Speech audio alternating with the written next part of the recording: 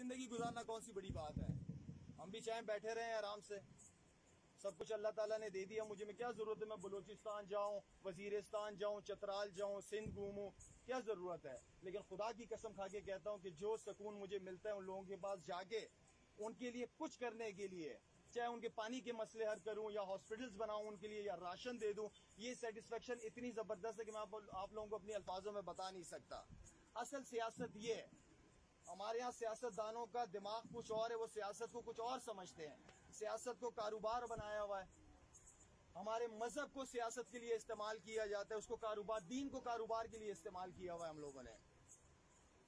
سیاست کا مطلب ہے حقدار کو اس کا حق دینا۔ تو میرے بھائیوں، دوستوں آپ سب لوگوں سے ریکویسٹ ہے، یہی ہے کہ جتنا ہو سکے اس مہینے کیا پورے سال اس مہینے کے بعد بھی اللہ تعالیٰ میں زندگی دے کے رکھے۔ ہمارے ارد گرد بہت ایسے تکلیفوں سے مجبور لوگ ہیں۔ آپ خدا کی بستی جائیں، نیو کراچی جائیں، یہ علاقے بھرے پڑے ہوئے تکلیفوں میں لوگ۔ کبھی آپ جا کے تو دیکھیں، آپ اپنے فیملی اپنے بچوں کو گاڑی میں بٹھا کے جوتے خرید لیں۔ صرف ان بچوں کے لیے جوتے لے کے جائیں، بھی میرے دوست بیٹھے ہوئے ہیں۔ ابھی ہم کراچی سے ساتھ میں راشن کے ساتھ ساتھ جوتے بھی لے کے گئے ہیں بچوں کے لیے۔ آپ یقین کریں، چھوٹے چھوٹے بچے ہیں، میری بھی بیٹیاں ہیں، آپ لوگوں کی بھی بچے ہیں۔ ننگے پاؤں گرم ریت کے اوپر پتھروں پہ شیشے ٹوٹے ہوئے، کانٹے پڑے ہوئے، وہ زندگی گزارتے ہیں وہ بچے۔ ہم دس پندرہ ہزار کا تو اپنے بچوں کو میکڈونلڈ ٹیپ سی کھلا دیتے ہیں۔ کیا ہم پانچ سو، چھ سو روپے کی جوتے بچوں کو نہیں دلا سکتے جا کے وہاں پہ؟ کیا؟ آپ اپنی فیملی کے ساتھ جائیں، بیگم بچوں کو لے کے جائیں، یہ ہب سائڈ پہ نکل جائیں آپ لوگ۔ اس سراب گوڈ کی سائڈ پہ نکل جائیں۔ خدا کی بستی کی طرف چلے جائیں۔ اتنے بچے آپ لوگوں کو ملیں گے کہ آپ سوچ نہیں سکتے۔ میں ایک بچوں کو جوتے پہنا رہا تھا، تو ایک بچہ چھوٹا قریب آ کے کھڑا ہو گیا تھا اور روئے جا رہا ہے۔ میں نے کہا، بیٹا، آپ کو دے رہا ہوں، پہلے اس بچے کو پہنا دوں، پھر آپ کو میں دے رہا ہوں۔ تو اس نے ایک پاؤں اپنا اوپر کیا ہوا تھا، یوں کر کے۔ میں نے کہا کوئی مسئلہ ہے؟ تو اس بچے کا میں نے پاؤں اٹھایا، خدا کی قسم، تین ٹانکے اس کے اندر، کانٹے اس کے پاؤں میں تھے۔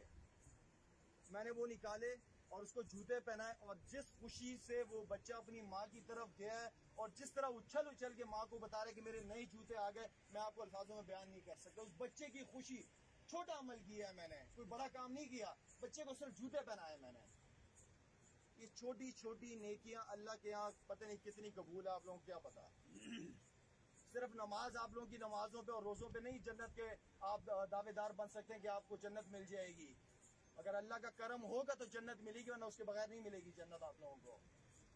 انسانیت کی خدمت کریں، جنت تب کنفرم ہے آپ لوگوں کی۔ انسانیت کی خدمت کریں۔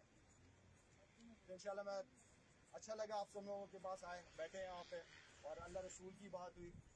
آپ لوگوں سے بھی دعاؤں کی درخواست ہے کہ جو کام میں نے شروع کیا، دعاؤں میں یاد رکھیے کہ اللہ تعالیٰ ہم سے یہ کام لیتا رہے۔ بہت بہت شکریہ۔